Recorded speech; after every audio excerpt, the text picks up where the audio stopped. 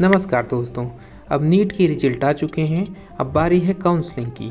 यदि आप काउंसलिंग कराकर केरला में एडमिशन लेना चाहते हैं बीएमएस में तो आज हम यहाँ के सभी गवर्नमेंट और गवर्नमेंट एडेड कॉलेज को ठीक से एक्सप्लेन करूँगा। तो आइए देखते हैं आयुर्वेदा कॉलेज इन केरला। इसे हम डिवाइड करेंगे दो भागों में। एक है गवर्नमेंट कॉलेज और दूसरा गवर्नमेंट एडेड कॉलेज तो सबसे पहले हम बात करेंगे गवर्नमेंट आयुर्वेदा कॉलेज की। यहाँ पर तीन गवर्नमेंट कॉलेज हैं।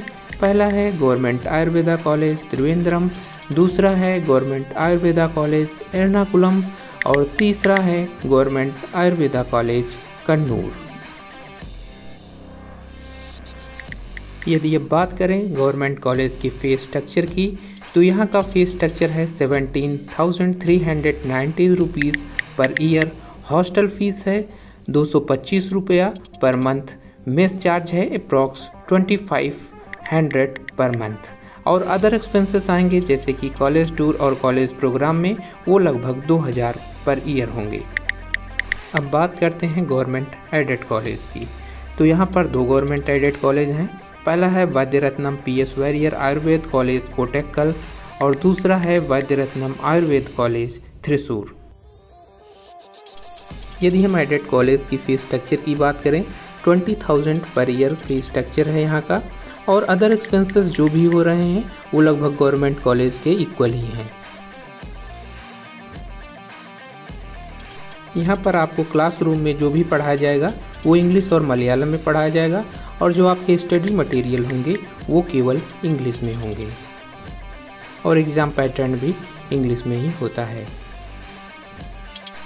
एनी रीजन यदि आप एडमिशन अपना कैंसिल करवाते हैं कॉलेज से तो यहाँ का बॉन्ड है एट्टी थाउज़ेंड और गवर्नमेंट एडेड कॉलेज का बॉन्ड है नाइन्टी फाइव के यहाँ पर यूज़ स्टूडेंट की जो स्कॉलरशिप है, वो लगभग थर्टी के है।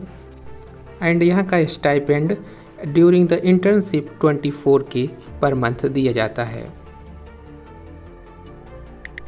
अब बात करते हैं कट ऑफ़ की। यदि आप ऑल इंडिया से काउंसलिंग करवाते हैं और आपकी रैंक है seventy five thousand for the O B C general और ई डब्ल्यू एस के लिए। तो आपको इन पाँचों कॉलेज में से कोई एक मिल ही जाएगा। यदि आप एस सी और एस टी से बिलोंग करते हैं तो आपकी रैंक दो लाख और तीन लाख रैंक से कम होनी चाहिए। आपको कॉलेज मिल जाएँगे। अब क्वेश्चन उठता है कि इन कॉलेजेस में सबसे अच्छा कॉलेज कौन सा है? तो मैं फैसिलिटी फैकल्टी इंफ्रास्ट्रक्चर और कई मामलों में देखा हूँ। तो आपको बता सकता हूँ कि इनमें से कौन सा कॉलेज सबसे अच्छा है।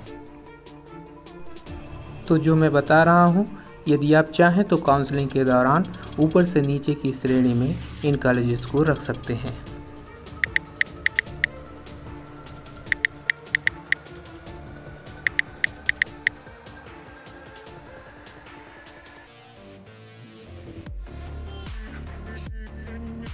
अब आप कुछ पिक्चर इन कॉलेजेस की देख सकते हैं।